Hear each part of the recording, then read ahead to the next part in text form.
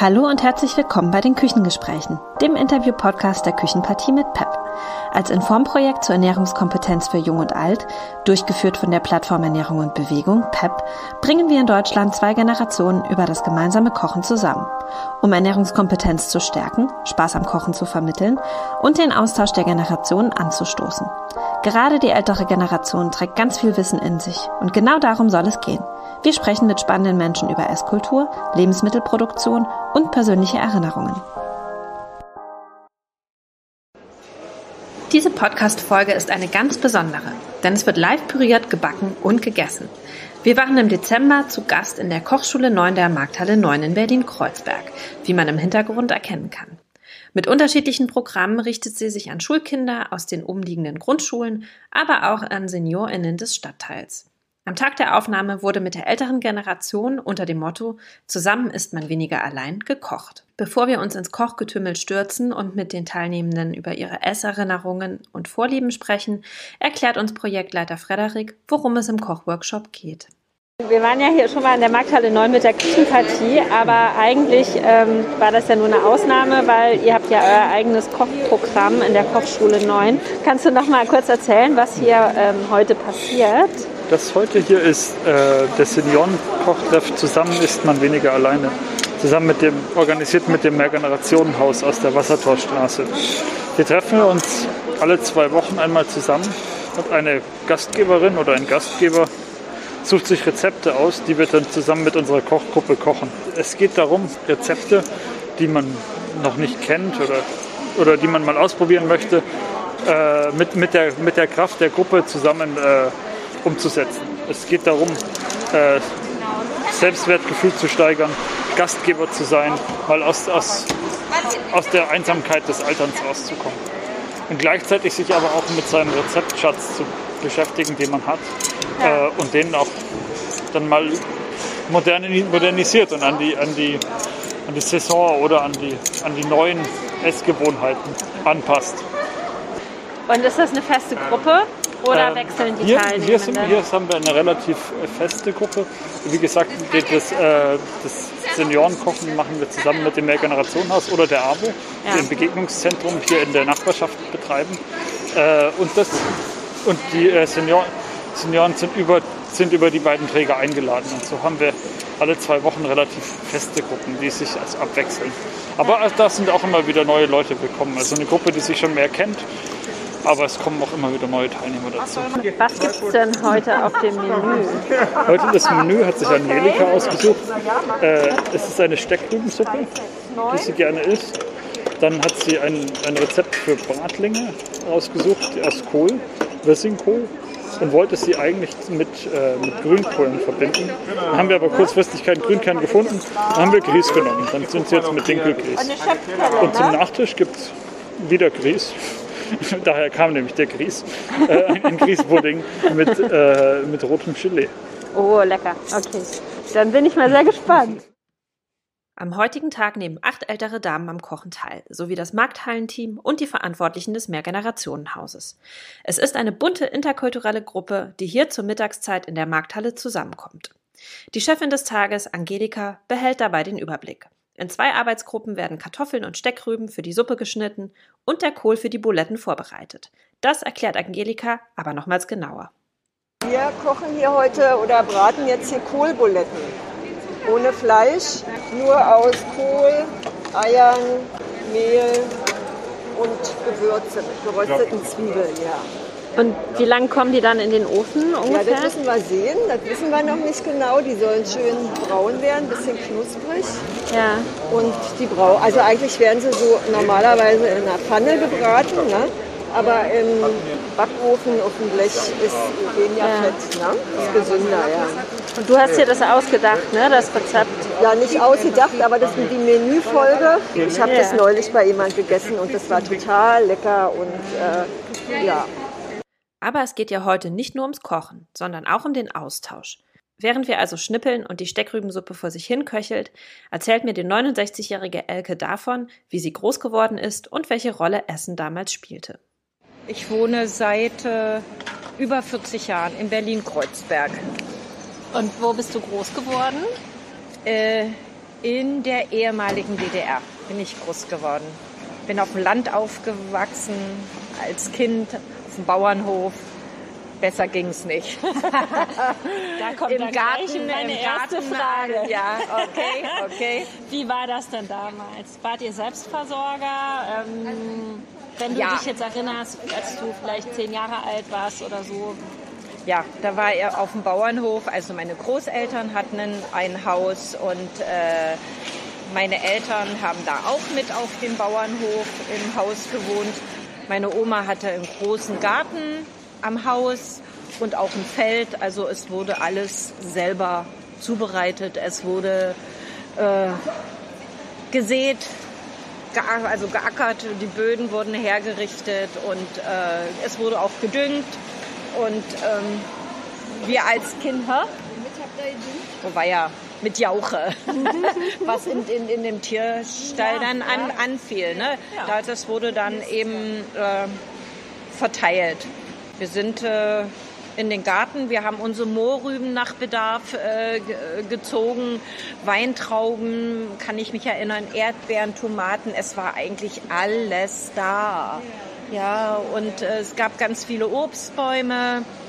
Und wir mussten dann als Kinder auch immer schön dabei helfen, wenn es darum ging, das äh, Kompott zu machen. Ne? Also wir mussten Äpfel schneiden, alles. Nudeln haben wir selber gemacht. Äh, Habt ihr auch selber geschlachtet? Äh, ja, es wurde auch selber geschlachtet und da mussten wir aber dann auch immer weg. Äh, also wir durften nicht zugucken, wie die Tiere getötet worden sind. Und also so, wenn es um, um eine Ente oder eine Gans oder ein Kaninchen ging, da hatte ich dann auch Probleme damit, das zu essen. Ne?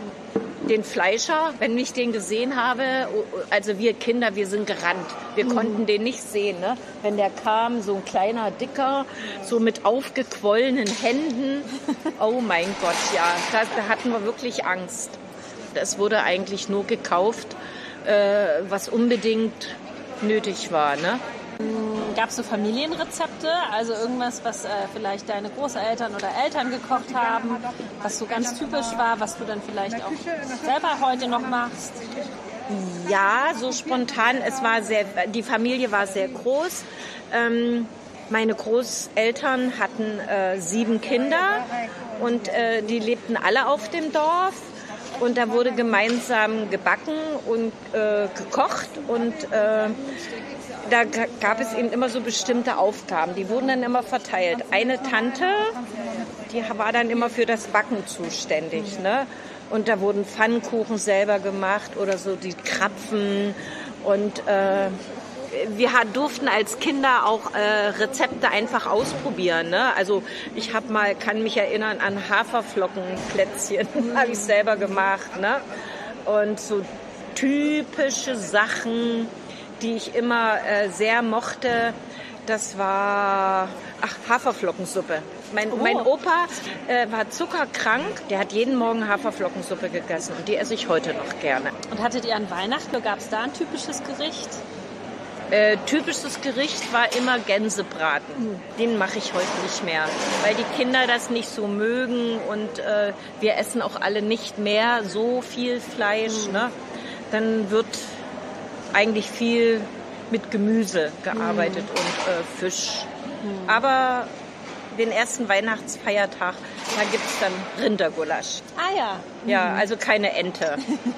Da weiß ich nicht, da habe ich ein, kein gutes Gefühl, wo, wo ist die Ente her oder die Gans. Ja, also ich habe den Unterschied auch geschmeckt. Ja. Ne? Also so, wenn man so aus der Region äh, es gewohnt war zu essen, alles was am Ort war, war es gut. Ne? Also es gab keine Banane und keine Orange.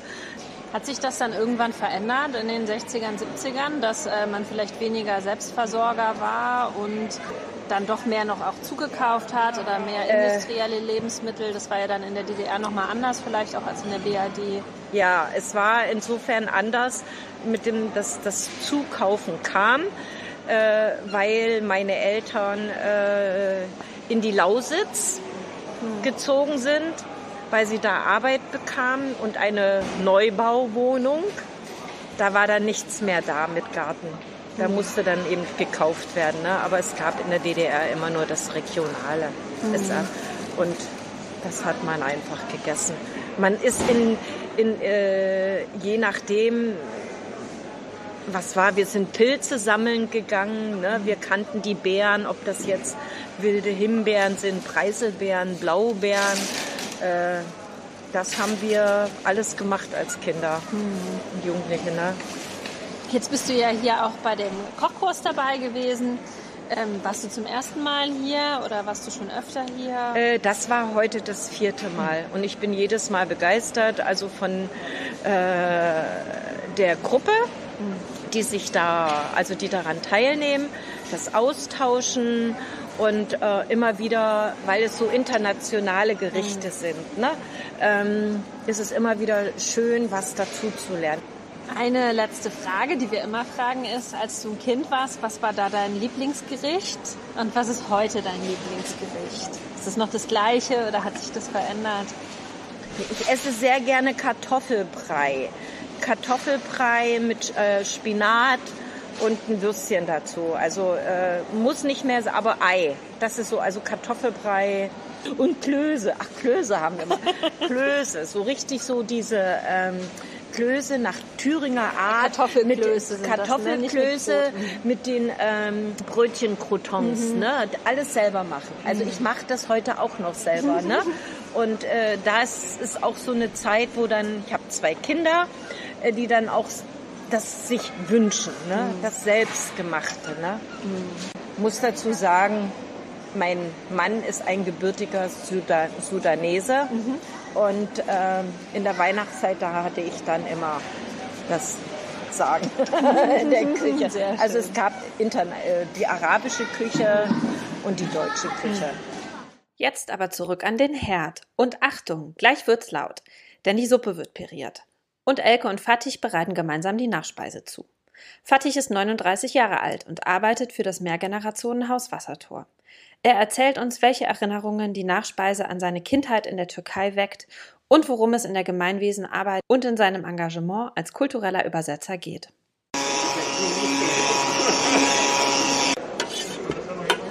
Das ist jetzt Grießpudding mit roter Grütze, nee, roter Soße. Äh, Traubensaftgelee. Traubensaftgelee. Und das muss jetzt aber noch abkühlen, ne? weil man das ja doch, äh, ja. ist noch zu heiß alles. Genau. Elke hat mich gerade gefragt, woher weiß ich dieses Rezept, weil das haben wir vorher auch gemacht mit Angelika. Ah. Und ich komme aus der Türkei ja. und als ich klein war, bei jedem Opferfest und Zuckerfest hat meine Oma und meine Mutter dieses Rezept gemacht. Entweder Ach. mit Orangensaft oder mit Kirschensaft oder wie jetzt mit Traubensaft. Und jetzt machen wir das hier. Und auch mit Grießbrei drunter dann immer? Nee, das war bei uns eher mit ähm, entweder mit Milchpudding oder mit ähm, Milchreis.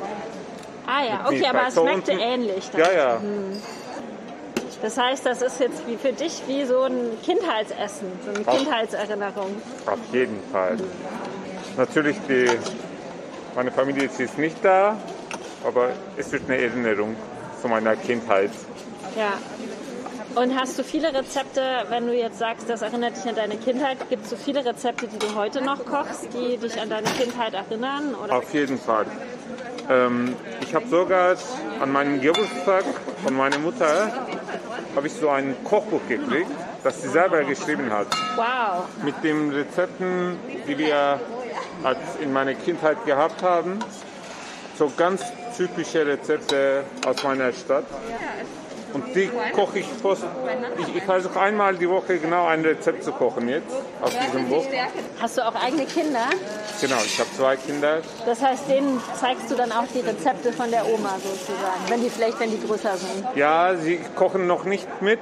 Eine ist sieben und das andere ist äh, drei Jahre alt. Ja. Aber sie kosten schon diese Rezepte. Mhm. Und ich glaube, diese Kindheitserinnerungen bleiben immer und ewig. Dann, wenn sie groß sind, sie würden sagen, hm, mein Papa hat das gekocht, ich möchte das jetzt auch kochen. Und hast du, hm, ist das bei dir so, wenn du so ein Gericht aus deiner Kindheit isst, dass du direkt dich wieder an damals erinnerst? Ja, auf jeden Fall. Ähm, ich glaube, manche Geschmäcke und manche Gerüche bringt mich zu bestimmten Momenten. Wie zum Beispiel für einen, eine deutsche Person Zimt ist Weihnachten. Ja. Und für mich, es gibt welche bestimmte Geschmack, Geschmäcke, die mich zu welchen Momenten bringen. Zum Beispiel das hier ist, was wir heute gekocht haben, das hier ist für mich ein Fest. Entweder Zuckerfest oder Opferfest. Ja. Ähm, am Nachmittag, wir treffen uns mit Familie und Nachbarn und wir essen genau so eine Dessert. Ja. Und was ist dein Lieblingsgericht aus deiner Kindheit? Hast du sowas? Und was, was ist heute dein Lieblingsgericht oder hat sich das verändert? Nein, das hat sich nicht geändert. Und es ist komischerweise, ich, ich habe ein paar Gerichte, aber im Winter, genau in dieser Zeit, es gibt eine bestimmte Spinatgericht. Mhm. Ähm, das ist halb arabisch, halb türkisch. Und das ist mein Lieblingsessen. Man macht so ganz kleine Fleischbuletten. Mhm.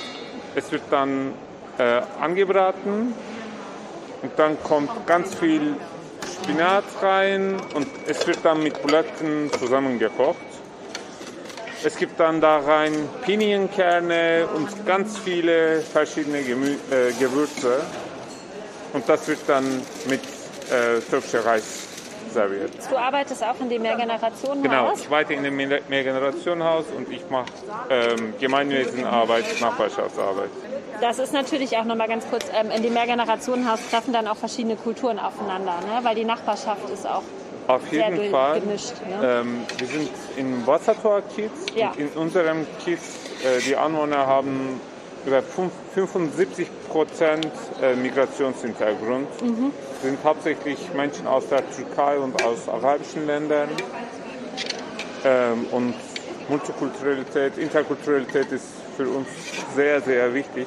Ja. Und deswegen auch alle unsere Angebote sind sehr, sehr kulturoffen, interkulturell, multikulturell.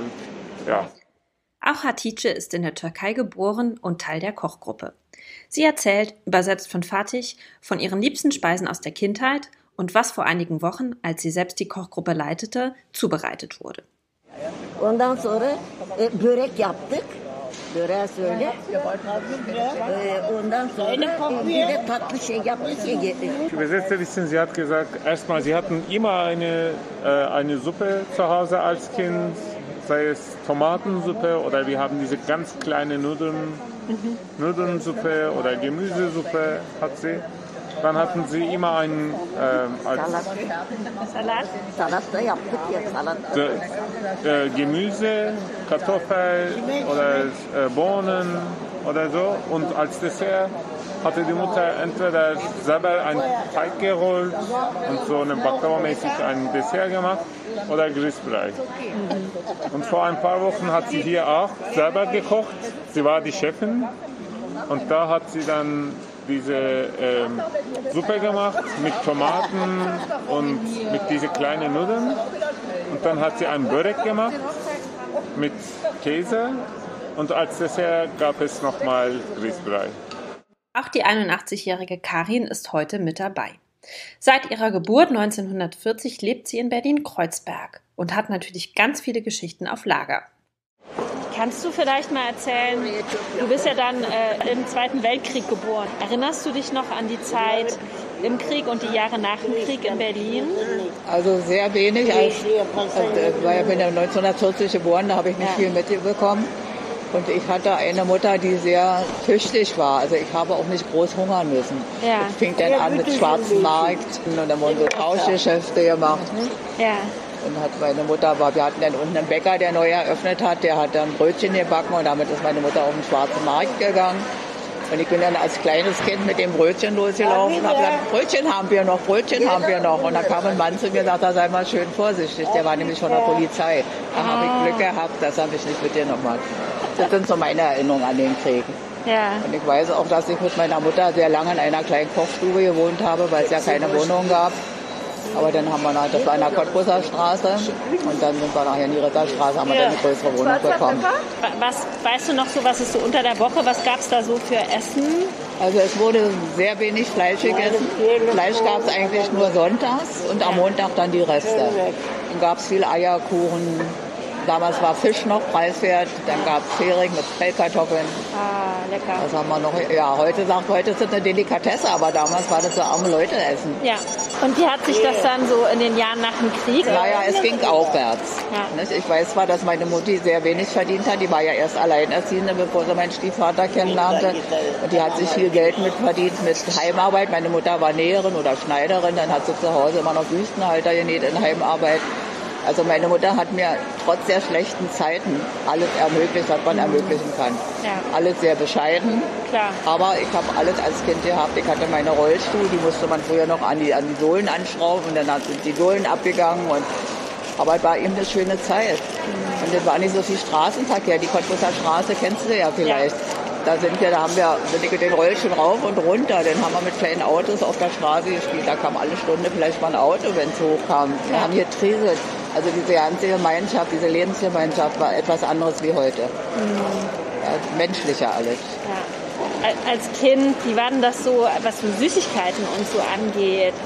Weißt du, da noch gab es dann was von eher ja, so Kuchen also, oder gab es? Nee, naja, nee, also ich kann mich noch erinnern, es gab so ein komisches Weißbrot. Und es gab ja noch, also als ich so Kind war, so fünf Jahre alt und so, da gab es noch nicht so Schokolade oder so. Und ich kann mich erinnern, dass ich mir immer eine Tasse Wasser gemacht habe, eine Scheibe Weißbrot, dann habe ich das in das Wasser nass gemacht, in dem Wasser und dann den Zucker reingestreut. Ah. Ich war schon immer eine Naschkatze, also ich, wusste mir immer zu helfen. Und dann gab es von den Amerikanern so große Dosen, wo so Trockengemüse drin war. Ja. Und da habe ich die Karotten, die waren getrocknet, aber die waren zuckersüß. Eine Karotte ist ja süß, dann habe ich die geknabbert. Ah. Und dann weiß ich noch, dann ging es meiner Mutter ein bisschen besser. Dann hatte sie eine Arbeitskollegin, die hat einen ganzen Karton mit Ostereiern mitgebracht. Und da gab es dann immer ein Osterei und dann wurde das unter den Schrank geschoben. Wir hatten dann so einen Küchenschrank, wo du runterschieben konntest. Also es wurde alles eingeteilt. Ja. Und ich bin dann immer heimlich rangegangen, weil ich gerne genascht habe. und da habe ich immer gesagt, wenn ich mal groß bin, kaufe ich mir einen riesen Kasten Konfekt und den esse ich ganz alleine.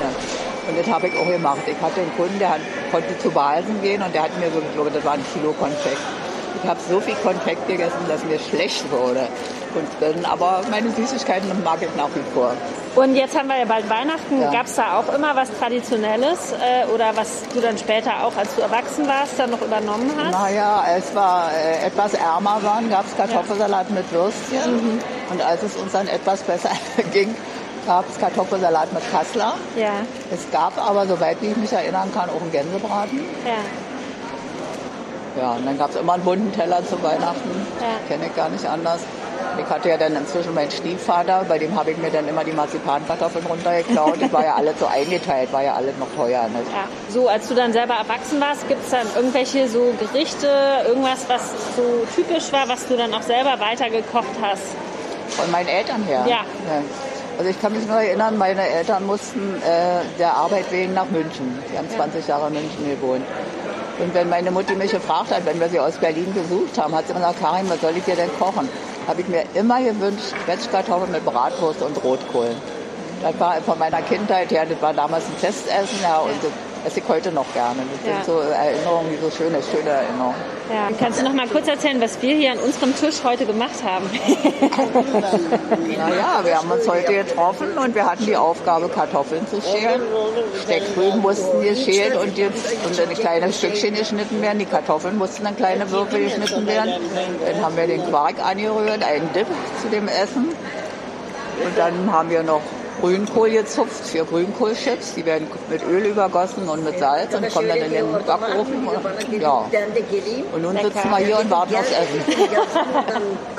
Vielen Dank. Ja, und kurze Zeit später wurde dann alles angerichtet.